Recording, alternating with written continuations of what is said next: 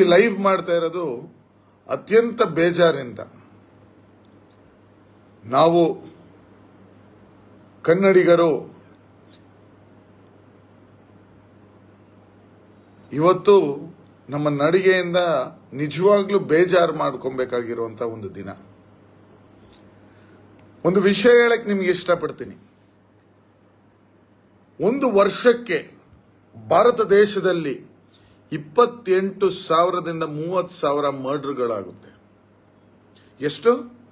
ಇಪ್ಪತ್ತೆಂಟು ಸಾವಿರದಿಂದ ಮೂವತ್ತು ಸಾವಿರ ಮರ್ಡರ್ಗಳಾಗುತ್ತೆ.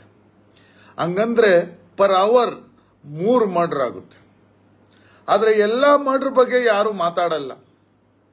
ಇವತ್ತು ಕರ್ನಾಟಕದಲ್ಲಿ ಒಬ್ಬ ನನ್ನ ತಂಗಿ ಒಂದು ಮಹಿಳೆಯನ್ನ ಮರ್ಡರ್ ಮಾಡಿದ್ದಾರೆ.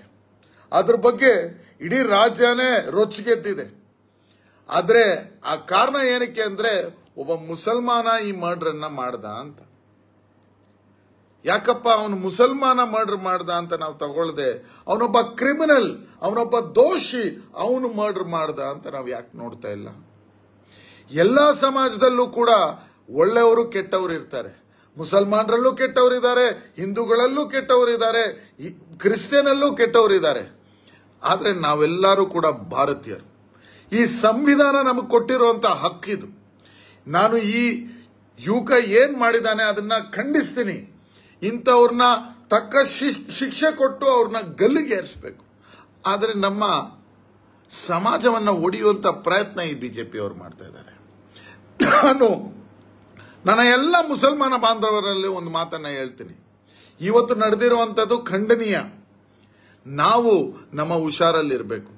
ನಾವೆಲ್ಲರೂ ಕೂಡ ನಮ್ಮಿಂದ ತಪ್ಪಾಗದೇ ಇರೋ ಒಂದು ರೀತಿಯಲ್ಲಿ ಜೀವನವನ್ನ ಮಾಡ್ಕೊಂಡು ಹೋಗ್ಬೇಕು. ಎಲ್ಲರನ್ನ ಹೊಂದಿಸ್ಕೊಂಡು ಹೋಗ್ಬೇಕು. ನಮ್ಮಲ್ಲೂ ಕೂಡ ಒಳ್ಳೆಯವರಿದ್ದಾರೆ ಒಳ್ಳೆ ಡಾಕ್ಟರ್ಸ್ ಇದ್ದಾರೆ, ಒಳ್ಳೆ ಐ ಎ ಎಸ್ ಆಫೀಸರ್ಸ್ ಇದ್ದಾರೆ, ಒಳ್ಳೆ ಯುವಕರು ಇದ್ದಾರೆ. ಆದರೆ ಯಾಕೆ ಅದನ್ನ ಆಚೆ ಬರದೆ ಬರೀ ನಮ್ಮ ಕೆಟ್ಟಗಳನ್ನ ಮಾತ್ರ ಮುಂದೆ ಬರ್ತಾ ಇದೆ? ಇದು ಆಲೋಚನೆ ಮಾಡಬೇಕಾಗಿರುವಂತ ಸಮಯ. ನಾನು ಎಲ್ಲೂ ಕೂಡ ಆ ಯುವಕ ಮಾಡಿರೋದು ಸರಿ ಅಂತ ಹೇಳೋದು ಇಲ್ಲ, ಒಪ್ಪೋದು ಇಲ್ಲ. ಯಾವುದೇ ಕಾರಣಕ್ಕೂ ಒಪ್ಪಲ್ಲ. ಅವನಿಗೆ ಶಿಕ್ಷೆ ಆಗಬೇಕು ಅವನ ಗಲ್ಲಿಗೆ ಏರಿಸಬೇಕು. ಆದರೆ ಇವತ್ತು ಒಬ್ಬರಿಂದ ಇಡೀ ಸಮಾಜಕ್ಕೆ ನೀವು ಕಳಂಕನ ತರಕ್ ನೋಡೋದು ಅದು ಎಷ್ಟು ಸರಿ ಅಂತ ನಾನು ಕೇಳಕ್ಕೆ ಇಷ್ಟಪಡ್ತೀನಿ. ಮಾನ್ಯ ನಮ್ಮ ನಾಡಿನ ಮುಖ್ಯಮಂತ್ರಿಗಳು, ಮಾನ್ಯ ಹೋಮ್ ಮಿನಿಸ್ಟ್ರು, ನಾವೆಲ್ಲರೂ ಕೂಡ ಇದನ್ನ ಖಂಡಿಸ್ತಾ ಇದ್ದೀವಿ. ಆದ್ರೆ ಈ ಬಿಜೆಪಿ ಅವರು, ಈ ಆರ್ ಎಸ್ ಎಸ್ ಅವರು ಅದನ್ನ ತೀರಿಸಿ ಹೇಳ್ತಾ ಇದ್ದಾರೆ, ನಾವು ಖಂಡನೆ ಮಾಡ್ತಾ ಇಲ್ಲ, ಅವ್ರನ್ನ ಸಪೋರ್ಟ್ ಮಾಡೋ ರೀತಿಯಲ್ಲಿ ಮಾತಾಡ್ತಾ ಇದ್ದೀವಿ ಅಂತ. ಇದು ಎಷ್ಟು ಒಂದು ಅನ್ಯಾಯ ಅಂತ ಹೇಳಕ್ ಇಷ್ಟಪಡ್ತೀನಿ. ನಾವೆಲ್ಲರೂ ಕೂಡ ಒಗ್ಗಟ್ಟಿಂದ ಶಾಂತಿಯ, ಸರ್ವ ಜನಾಂಗದ ಶಾಂತಿಯ ತೋಟ ಅಂತ ನಮ್ಮ ಕರ್ನಾಟಕವನ್ನ ಹೇಳ್ತೀವಿ. ನಮ್ಮ ನಾಡಗೀತೆಯಲ್ಲಿ ನಾಡ ಗೀತೆಯಲ್ಲಿ ಬರುತ್ತೆ. ಆ ಮಾತಲ್ಲಿ ತುಂಬಾ ಅರ್ಥ ಇದೆ, ಗೌರವ ಇದೆ. ನೀವೆಲ್ಲರೂ ಕೂಡ ಅದನ್ನ ಅರ್ಥ ಮಾಡ್ಕೊಬೇಕು. ಆ ಶಾಂತಿಯನ್ನ ಅಶಾಂತಿ ಮಾಡಕ್ಕೆ ಈ ಬಿಜೆಪಿ ಅವರು, ಆರ್ ಎಸ್ ಎಸ್ ಅವರು ಹೊರಟಿದ್ದಾರೆ. ಅದಕ್ಕೆ ನಾವು ಬಲಿಯಾಗಬಾರ್ದು. ನಾನು ಮುಸಲ್ಮಾನ ಬಾಂಧವರಲ್ಲಿ ಹೇಳ್ತೀನಿ, ಒಂದು ಸರಿ ಅಲ್ಲ, ಒಂದು ನೂರು ಸರಿ ಆಲೋಚನೆ ಮಾಡಿ ಜೀವನವನ್ನ ಮಾಡಬೇಕು. ಒಳ್ಳೆಯದನ್ನ ಮಾತ್ರ ಮುಂದೆ ತಗೊಂಡೋಗಿ ಮಾಡಬೇಕು. ನೀವು ನಿಮ್ಮ ಒಬ್ಬರನ್ನ ಅಲ್ಲ, ನೀವು ರೆಪ್ರೆಸೆಂಟ್ ಮಾಡ್ತಾ ಇರೋದು. ಇಡೀ ಸಮಾಜವನ್ನ ರೆಪ್ರೆಸೆಂಟ್ ಮಾಡ್ತಾ ಇದ್ದೀರಾ? ಒಂದು ಮುಸಲ್ಮಾನ ತಪ್ಪು ಮಾಡಿದ್ರೆ ಇಡೀ ಮುಸಲ್ಮಾನರ ಮೇಲೆ ಒಂದು ಕಪ್ಪು ಚುಕ್ಕೆ ಬರುತ್ತೆ. ಅದನ್ನ ನಿಲ್ಲಿಸ್ಬೇಕಂದ್ರೆ ನಾವು ನಮ್ಮ ಜಾಗ್ರತೆಯಿಂದ ಇರಬೇಕು. ನಾವು ಎಲ್ಲೂ ಕೂಡ ಅದಕ್ಕೆ ಅವಕಾಶ ಮಾಡಿಕೊಡ್ಬಾರ್ದು. ಎಸ್ಪೆಷಲಿ ಈ ಟೈಮಲ್ಲಿ ಈ ಸಮಯದಲ್ಲಿ ಎಲೆಕ್ಷನ್ ಬಂದಾಗ ಈ ಬಿಜೆಪಿ ಅವರು ಆರ್ ಎಸ್ ಎಸ್ ಅವರು ಬರ್ತಾರೆ ಆಚೆ ನಮ್ಮನ್ನ ಕೆಣಕಕ್ಕೆ, ನಮ್ಮನ್ನ ಹಾಳು ಮಾಡಕ್ಕೆ. ಅದಕ್ಕೆ ನಾವು ನಮ್ಮ ಹುಷಾರಲ್ಲಿ ಇರಬೇಕು.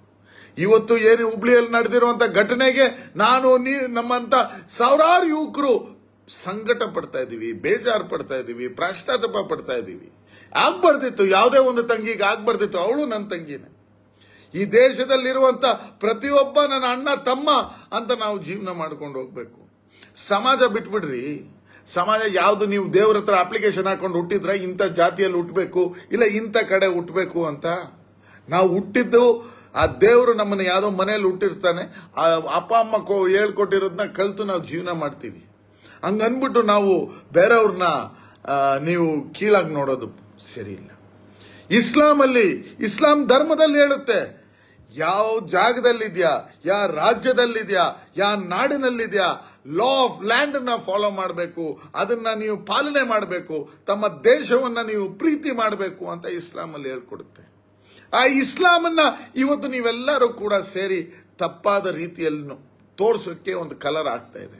ಒಂದು ಪರ್ಸೆಂಟ್ ಕೆಟ್ಟವ್ರು ಎಲ್ಲ ಜಾತಿಯಲ್ಲಿದ್ದಾರೆ. ಆ ಒಂದು ಪರ್ಸೆಂಟ್ ಕೆಟ್ಟವನ್ ಮಾಡಿದ್ನ ಇಡೀ ಜಾತಿ ಮೇಲೆ ಹಾಕ್ಬಾರ್ದು ಅಂತ ನಾನು ಇಡೀ ಕರ್ನಾಟಕದ ಜನತೆಯಲ್ಲಿ ಕೇಳ್ಕೊಳ್ತೀನಿ. ನಮ್ಮಲ್ಲೂ ಸಾವಿರಾರು ಜನ ಒಳ್ಳೆ ಮುಸಲ್ಮಾನ ಡಾಕ್ಟರ್ಸ್ ಇದ್ದಾರೆ, ಒಳ್ಳೆ ಮುಸಲ್ಮಾನ ಲಾಯರ್ಸ್ ಇದ್ದಾರೆ, ಒಳ್ಳೆ ಮುಸಲ್ಮಾನ್ ಪಾಲಿಟಿಷಿಯನ್ಸ್ ಇದ್ದಾರೆ. ಜನರಿಗೋಸ್ಕರ ಜೀವನ ಮಾಡುವಂತ ಎಷ್ಟೋ ಜನ ಇದ್ದಾರೆ. ಆದ್ರೆ ಒಂದು ಒಂದು ಪರ್ಸೆಂಟ್ ಕೆಟ್ಟವರಿಂದ ನಮ್ಮ ಇಡೀ ಸಮಾಜವನ್ನ ಹಾಳಾಗಿ ಹೇಳೋದು ಸರಿಯಲ್ಲ. ನಾನು ಕೇಳ್ಕೊಳ್ಳೋದು ಇಷ್ಟೇ. ನಮ್ಮ ಮುಸಲ್ಮಾನ್ ಬಾಂಧವರಲ್ಲಿ ನಾವು ಆ ಒಂದು ಪರ್ಸೆಂಟ್ ಜನನ್ನ ಖಂಡಿಸಬೇಕು, ಅವರನ್ನ ಎಂಟರ್ಟೈನ್ ಮಾಡಬಾರ್ದು, ಅವರನ್ನ ಯಾವುದೇ ಕಾರಣಕ್ಕೂ ಮುಂದೆ ಬರಕ್ ಬಿಡಬಾರ್ದು.